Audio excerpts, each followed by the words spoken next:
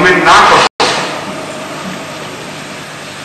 تو بظاہر یہ ایسا حکم ہے کہ اس کے بعد اگر مومن وہ کہتے تو آج کل کے علماء کا جو تصور اسلام ہے، اس کی روح سے ان کے خلاف جہاز شروع ہو جانا چاہیے۔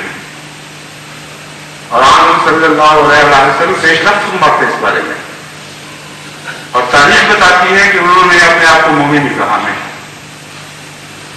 جن کو کہا جا رہا ہے کہ تم مومن نہیں ہو اور مومن نہ کہو اپنے آپ کو وہ مومن کہتے رہے اور ایک بھی واقعہ ایسا نہیں اس حکم کے باوجود حضرت صلی اللہ علیہ وسلم نے جبرن ان کو مومن کہلانے سے بھی معلوم کیا۔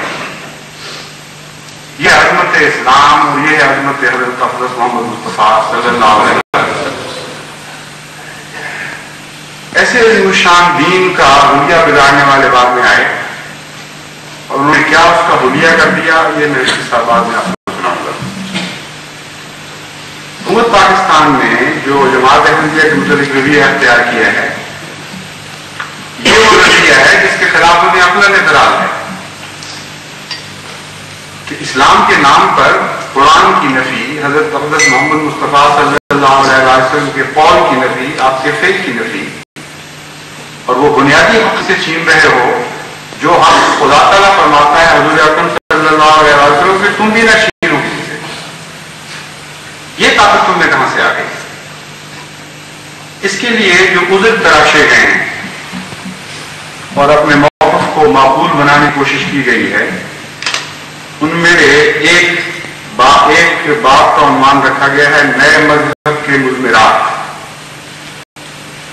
اور اس میں یہ ثابت کرنے کی کوشش کی گئی ہے کہ جماعت احمدیہ چونکہ واضح طور پر دوسرے مسلمانوں کو کافر کہتی ہے، اس لیے اصلی تقاضا ہے کہ ہم جو کافر کہیں، ان کو اعتراض کس بات کا ہے باہر کی دنیا جو ان باریک مسائل کو نہیں سمجھتی، ان کے سامنے یہ موقف پیش کیا جا رہا ہے کہ اس سے زیادہ معقول اور کیا طریق ہو سکتا ہے۔ یہ ہمیں کافر کہتے ہیں یعنی کتابوں میں لکھا ہوا یہ کافر۔ ہے اس کے باوجود جب ہم ان کو کافر کہتے ہیں تو یہ شور مچا دیتے ہیں اور بدنام کرتے ہیں سب دنیا میں۔ یہ تو ایک کبھی تقاضا ہے ان کے اس دعوے کا۔ اور اس کے سوا ہمارے پاس چارہ نہیں۔ تھا دوسرا موقف یہ پیش کیا گیا ہے کہ انہوں نے صرف ہمیں کافی نہیں ٹھہرایا، بلکہ ہمارے واقعہ کے طور پر تمام وہ تعلقات منقطع کر لیے امت مسلمہ سے۔ جن تعلقات کی بنا پر ایک امت امت کہلانے کی مستحق ہوتی ہے۔ ہر قسم کے تہذیبی، ثقافتی، مذہبی تمام تعلقات منقطع کر کے ہم سے الگ ہو گئے جب یہ خود الگ ہو گئے۔ تو ان کی اس حرکت کا نام ہم نے جب الگ ہونا رکھا تو ان کو غصہ آ گیا کہ تم تم کیوں ہمیں الگ کرتے؟ اپنے منہ سے، اپنے افعال سے الگ ہوئے۔ ہر بات میں تعلقات توڑ لیے۔ تو کیا ہم یہ بھی نہ کہہ سکیں ان کو کہ ہاں تم الگ ہو گئے؟ اس لیے ہمارا تو اس میں کوئی ضرور نہیں اس کے لیے معصومیت ہے اس موقف میں۔ یعنی بظاہر، لیکن جب ہم آگے چل کر اس پر، اس کا مزید جائزہ لیں گے تو بات خود ہی چلی جائے گی اور بالکل برق صورت حال نظر آئے گی۔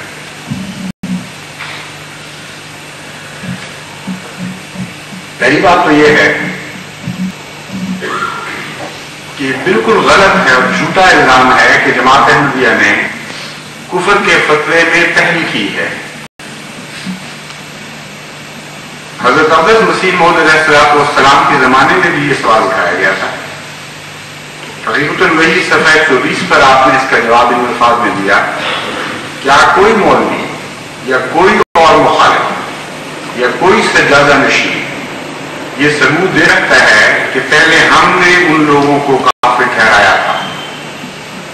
اگر ایسا کاغذ یا اشتہار یا رسالہ ہماری طرف سے ان لوگوں کے فتویٰ کفر سے پہلے شائع ہوا ہے، جس میں ہم نے مخالف مسلمانوں کو کافر ٹھہرایا ہے، تو وہ پیش کریں۔ ورنہ خود سوچ لیں کہ کس قدر خیانت ہے کافر تو خود ٹھہرانے آپ خود ٹھہرانے آپ۔ اور پھر ہم پر یہ الزام لگائیں کہ گویا ہم نے تمام مسلمانوں کو کافر ٹھہرایا ضمن یہ بات بھی کھول دینی چاہیے۔ کہ قرآن کریم کی روح سے جو میں نے آج پڑھی ہے، غیر مسلم ٹھہرانے کا حق انسان کو نہیں دیا گیا۔ اور اسلام کا دعویٰ کرنے والے کو اور کیسا بھی ہو، ایسا بھی ہو کہ اس کے دل میں ایمان کا ایک ذرہ بھی نہ ہو۔ اس کو بھی خدا اجازت دیتا ہے کہ تم مسلمان کہلاتے رہو۔ لیکن دوسروں کو یہ حق دے دیا، جن کو خدا خبر جن کے پاس دلیل ہو کہ وہ کسی کو کافی ٹھہرائیں ان دو چیزوں میں بہت فرق ہے۔ جب کہا، لم تو تم ایمان نہیں لے کے آئے، تم اپنے آپ کو مومن نہ کہو تو کافی ٹھہرانا اور کس کو کہتے ہیں؟ کافی ٹھہرانے کا حق تو دیا، لیکن قطعی خبر کے نتیجے میں۔ کسی پختہ دلیل اور برہان کے نتیجے میں۔ نہ کہ ویسے ہی شغل ہمیں دوسرے کو کافی کہتے رہو۔ بس حضرت علیہ السلام نے جب کافی ٹھہرایا، تو قرآن کے منشا کے ہیں مطابق اور آمد صلی اللہ علیہ وآلہ وسلم کے منشا کے ہیں مطابق، کیونکہ آپ نے وہ تمام دلائل بھی پیش فرمائے جن کے نتیجے میں قرآن اور حدیث کی روح سے ایسا شخص کافی ٹھہرانے کا مختلف بنتا ہے۔ چنانچہ آمد صلی اللہ علیہ وآلہ وسلم کی ایک حدیث آپ نے پیش فرمائی اور اس پر بنا رکھی کہ جو شخص بھی کسی مومن کو کافر کہہ دے، اس کا کفر اس پر الٹ جاتا ہے اور وہ شخص کافر ٹھہرتا ہے۔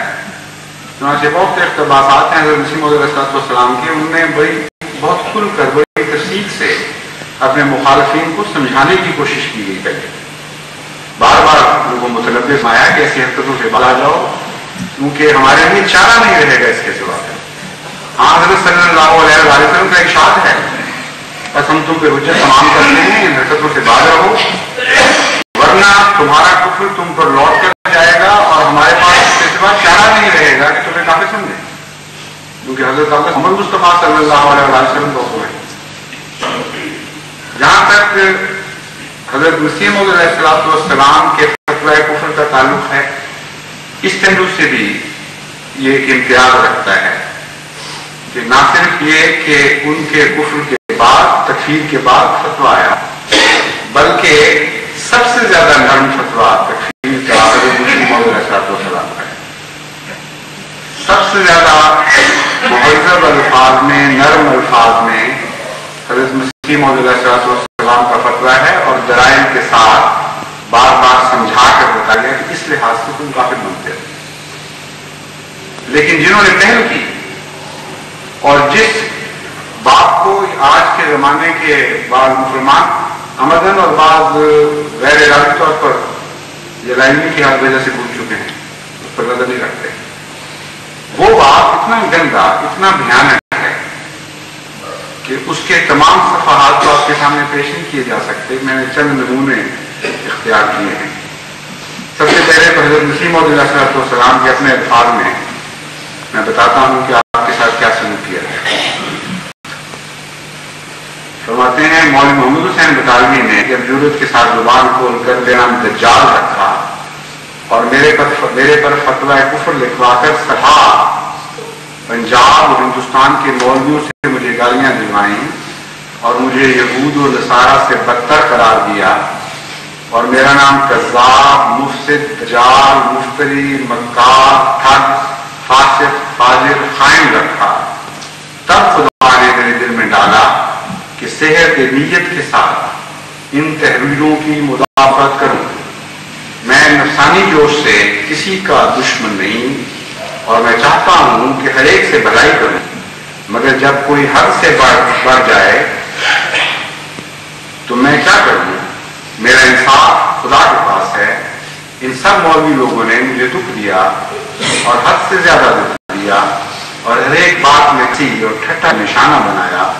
بس میں مجھے اس کی کیا کہوں کہ یا حسرت بعد ماں جاتی ہی رسول ان قانون استاذ یہ ہے حضرت مسیم علیہ السلط والسلام کا پہلا خطبہ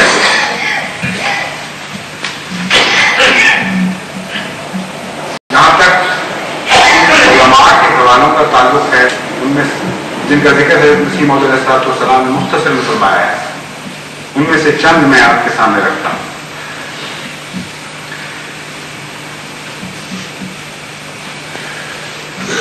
اسی طرح مولوی عبد عبدالسمد غزنوی نے لکھا ہے۔ جس طرح یہ، مولوی محمد حسین بٹالوی کا حوالہ تھا رہ گیا ہے نظر سے۔ عبدالسمد غزنوی کا حوالہ کر میں رکھتا ہوں کہ یہ گمراہ کرنے والا چھپا مرتد ہے بلکہ وہ اپنے شیطان سے جاری ہوا ہے، جو اس سے کھیل رہا ہے۔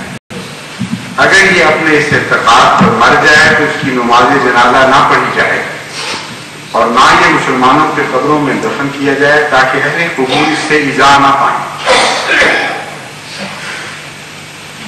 میاں نظیر حسین صاحب دہلی، جو شیخ پل کہلاتے ہیں، فرماتے ہیں، اہل سنت سے خارج کا عمل عمل عملی طریق ملحدین باطنیہ وغیرہ اہل زوال کا طریق ہے اس کے دعوے اور اشاعت اکاذی اور اس ملزانہ طریق سے اس کو تیس دجالوں میں سے جن کی خبر حدیث میں وارد ہے ایک دجال کہہ سکتے ہیں نہ اس کے پیرو ہم مشرب ضروریات دجال انانے اس کے پیرو ہم مشرب ہم مشرب ضروریات دجال یا ہم مشرب ضروریات دجال خدا پر اختراع ہونے والا ہے۔ اس کی تعلیمات الحاد و تحریف کرب و تدلیس سے کام لینے والا دجال، بے علم، نافہم، اہل بدت و ضلالت۔ جو کچھ ہم نے سوال مسائل کے جواب میں کہا اور قادیانی کے حق میں فتوا دیا، وہ صحیح ہے۔ اب مسلمانوں کو چاہیے کہ ایسے دجال کذاب سے اعتراض کریں اور اس سے وجینی معاملات نہ کریں۔ جو اہل اسلام میں باہم ہونے چاہیے نہ اس کی محبت اختیار کریں، نہ اس پہ خدان سلام کریں اور نہ اس کو دعوت مصنون میں بلاویں اور نہ اس کی دعوت قبول کریں اور نہ اس کے پیچھے اقتدار کریں اور نہ اس کی نماز جنازہ پڑھیں۔ شیخ محمد حسین صاحب بطالوی، ایڈیٹر اشاعت السنہ نے یہ حوالہ نذیر حسین صاحب کا فتح ظاہر کیا ہے اشاعت السنہ نمبر یکم روایت ششم جلد شام جہم اٹھارہ سو ترانوے عیسوی۔ قاضی عبید اللہ صاحب ایک فتویٰ دیتے ہیں، حضرت مسیم علیہ السلام السلام کے متعلق، اور اس کی بنا یہ رکھی ہے کہ جو شخص بھی حضرت عیسیٰ کے جسمی عروج اور جسمانی نزول کا قائل نہ ہو، اس میں سے ہر ایک پر یہ فتویٰ آئے ہوتا ہے۔ فرماتے ہیں، وہ شریف شرح کی روح سے، وہ شرح شریف کی روح سے مرتد، زندیق و کافر ہے اور ہمارے نبی کریم صلی اللہ علیہ وسلم پیشگوئی کے تیس دجالوں میں سے ایک ہے۔ اور جس نے اس کی تابے داری کی، وہ بھی کافر و مرتد ہے۔ اور شرم مرتد کا نکاح فسخ ہو جاتا ہے۔ اور اس کی عورت حرام ہوتی ہے۔ اور اپنی عورت کے ساتھ جو ہوتی کرے گا، تو وہ زنا ہے۔ اور ایسی حالت میں جو اولاد پیدا ہوتی ہے، وہ ولد الزنا ہوتی ہے۔ اور مرتد بغیر توبہ کے مر گیا تو اس پر نماز جنازہ نہیں پڑھنا اور اس کو مقابل اہل اسلام میں دفن نہیں کرنا، بلکہ بغیر غسل و کفن کے کتے کی مانند گڑے ڈال دینا۔